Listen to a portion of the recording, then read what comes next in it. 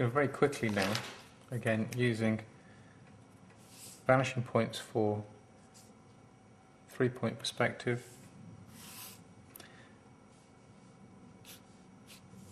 Firstly, construct my cube.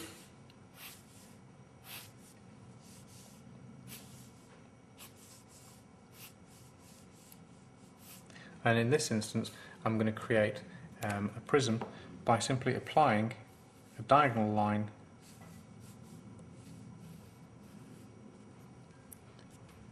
to give me a triangular shape.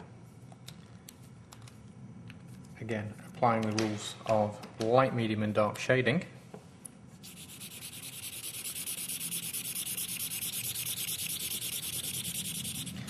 Now I've only got two surfaces, one I can leave light and the other one I can either do medium or dark.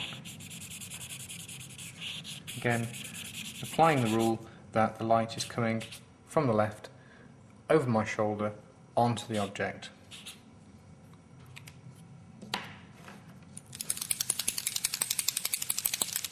Thinking about this, this means that this edge is the closest to me and is likely to generate a highlight.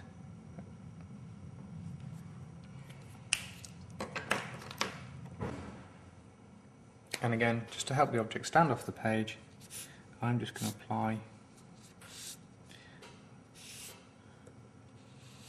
a little bit of background colour just to help you see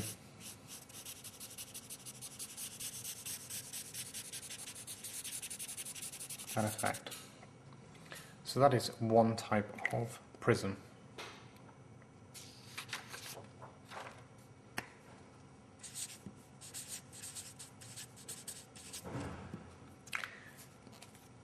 Very quickly then, I'm just going to show you a quick construction for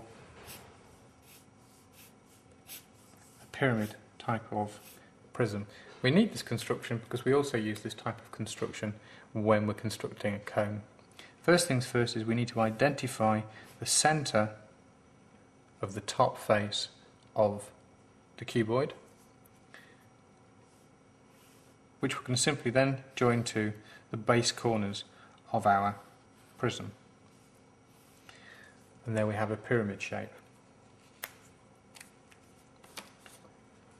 Look layout, line, shape through, shade, shadow,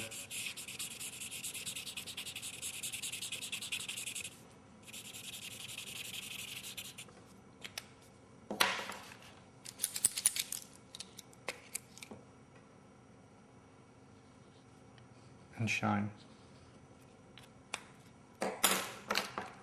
followed by presentation.